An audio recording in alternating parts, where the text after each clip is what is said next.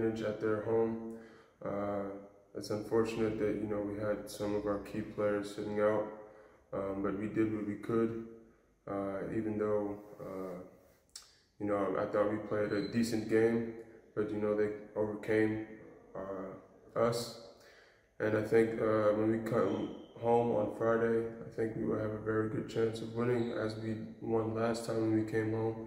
And also, I think it was because of the fans who helped us. So I think if you guys come on Friday as well, I think we have a really good chance of winning and equalizing the series.